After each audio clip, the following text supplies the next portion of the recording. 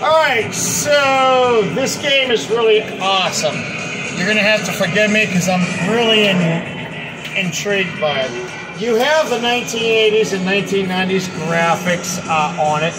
The graphics are good. It's it's kind of old school. It's classic, right?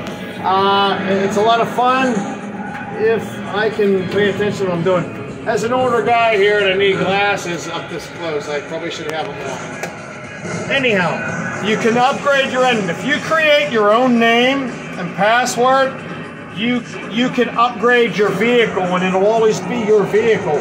You don't have to restart to do that every time you play. So that's really that's really interesting unlike the other Arcade1up games. This is a lot of fun. I can't keep it on the road right now because I have the engine beefed up and I don't have the brakes or anything else beefed up. Little, little loading as you can see, it's a lot of fun other than I'm not doing good. We, we had to upgrade, could go to the next level because of our engine. And right now I'm not doing good because I'm driving in the water in a Ferrari. And they have all this big engine on the Ferrari. Man, I one thing, that's not a Ferrari. Well, it looks like it. Yeah, but. Alright.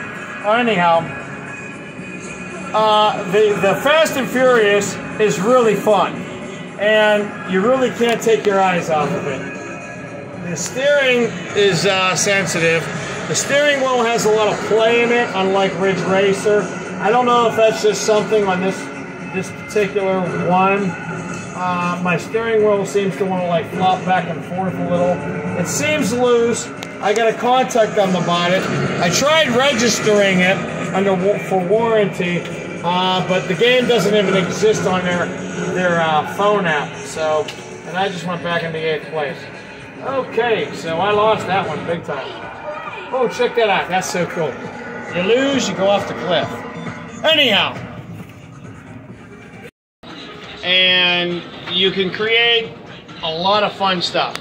And if you want to get in touch with us, you can just look up Mayers of Pittsburgh, M A Y E R S O F P G H, and you'll find us. We're on the uh, Infinity Game Table and all these other games, but apparently I thought we were on uh, the other ones and we never set them up.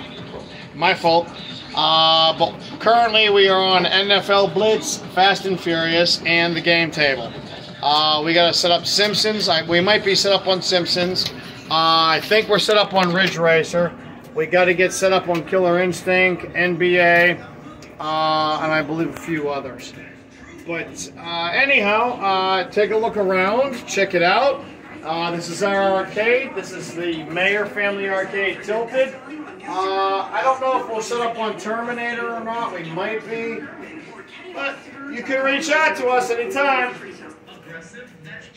And I would suggest the Fast and Furious. You might want to. You might want to invest in it. It's it's it's a fun game. I'm hoping I can paint my car when I'm all done modifying it. So this is pretty cool. This is our little arcade. This is the arcade you're checking out. Uh, we are actually doing a uh, major improvement overall on this. This is uh, one of our newest items here in the arcade. This is Avoid the Noid Domino's Pizza from the 1980s. This is a 1987, possibly a 1988 BMX scooter, and you can see it's in pristine condition. Uh, if you look over here while we're talking about BMX, you have a 1985 Mongoose uh, now, this one is not an original from 1985. This is actually a remake from Stranger Things, from the uh, Mad Max, uh, the Mad Max bike. Uh, I don't remember what season that is, but this think, th this thing is in. It's perfect. Now, this is an original 1986 BMX bike. This is a 1986 Redline ML20. However, the wheels are from a Mongoose from uh, newer times, and so uh, the seat is an original Redline from newer times. The pads are old school. You got the chrome ollie nudie bars, and you got the Redline flight cranks. You have original 1980s uh, air caps, okay, the ball caps, and original 1980s tires for Redline that have the actual, the tread is RL letters. That's the tread. Uh, this bike is uh, something I built living here in the past 15 years, and it's uh, it's awesome. Uh, you can see the spokey dokies. Obviously, that was just something we'd throw on once in a while back in the day. But we have the black lighting, so I wanted to go a little crazy with it. So if you back off, you can see how there's so many of them. And, you know, they used to tingle on that and make all kind of noise when you ride, when you go slow. But, you know, hey, it's fun. But if you take a look around, you can see we got a lot of cool stuff here.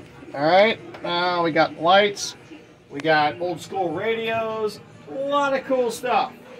Uh, we got a lot of cool stuff coming. I mean, like really authentic 80s stuff. So the arcade, you're getting like a kind of like behind the scenes thing. We got a lot of cool stuff. You got a Paul Stanley guitar here. Um, it's not. It's it's it's a remake. That one's a remake, so it's nothing special. Uh, but it just creates the atmosphere.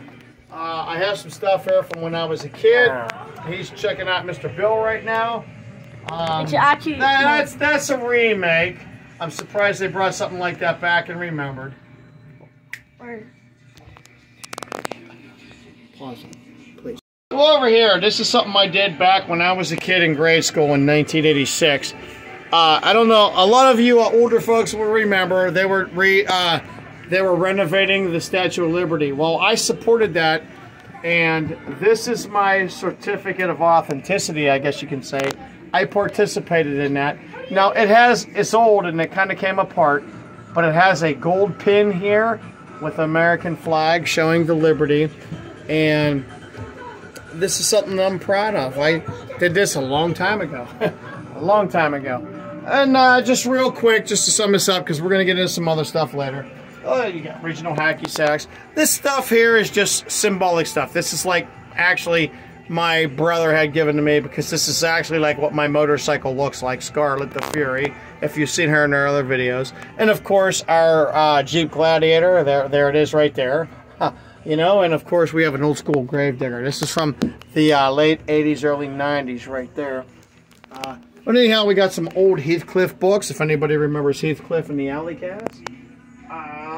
But you want to go a step back even further, you got 19 from the 1940s, you got Droopy Dog, one of the most awesomest cartoons ever next to Heathcliff. And there's a lot of other stuff.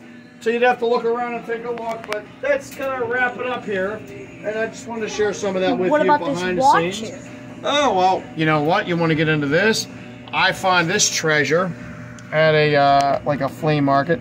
There's an actual Dukes of Hazzard watch in here with the original battery.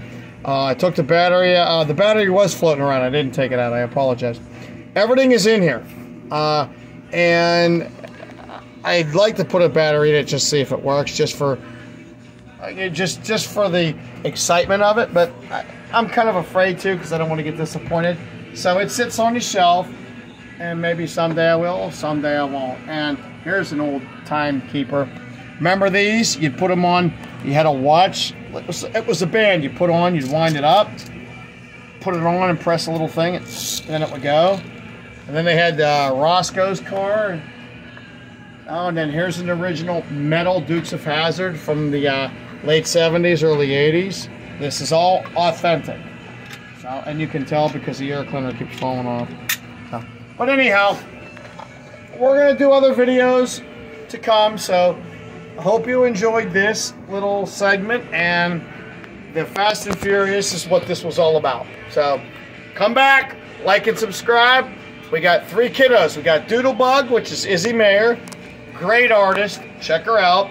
We got Ryder Mayer, who likes to do football and sporting things. Check him out. Like and subscribe. And Wyatt Mayer, our youngest, he likes to do stuff. We have a family orientated channel, and we do a lot of different things, which uh, save you money, teach you how to do some maintenance, things you can do yourself that you're not aware that you may not do or capable of doing, but you can. A lot of cool stuff. But we focus a lot on our arcade because we like it so much. Love the atmosphere of the 80s, 70s, and even the 90s. All right. Thanks for watching. Bye.